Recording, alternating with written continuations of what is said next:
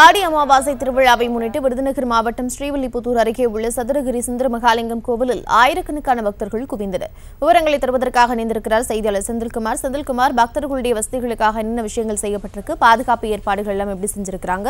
விவரங்கள்.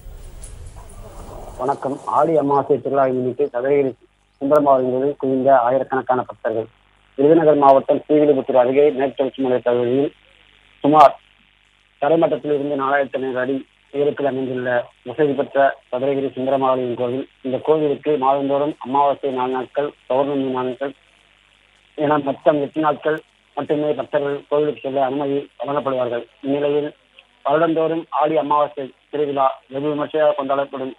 கடந்த இரண்டு ஆண்டுகளாக கொரோனா தொற்று காரணமாக ஆடி அமாவாசை திருவிழாவிற்கு அனுமதி வழங்கப்படவில்லை.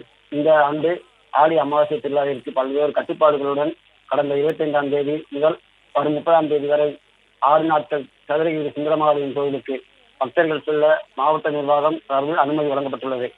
இந்நிலையில் இன்று ஆடி அமாவாசை திருவிழாவை முன்னிட்டு தமிழகத்தின் பல்வேறு பகுதிகளில் இருந்து ஆயிரக்கணக்கான பக்தர்கள் கோவிலுக்கு சென்று வருகின்றனர். சதுரகிரி சுந்தரமாவளியின் கோவில் ஆடி அமாவாசை திருவிழாவை முன்னிட்டு இன்று அதிகாலை முதலே ஆயிரக்கணக்கான பக்தர்கள் மலையேறி சாமி தரிசனம் செய்து வருகின்றனர்.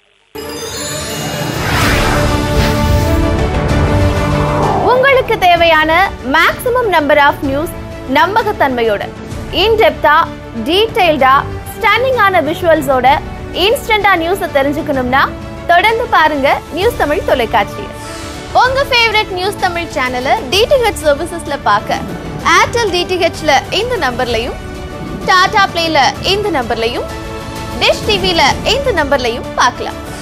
உங்கள் அபிமான நியூஸ் தமிழ் தொலைக்காட்சியை தமிழ்நாடு முழுக்க இருக்க கேபிள் நெட்ஒர்க்ஸ்ல பார்க்க ஸ்கிரீன்ல டிஸ்ப்ளே ஆகிற சேனல் நம்பர்ஸை நோட் பண்ணிக்கோங்க.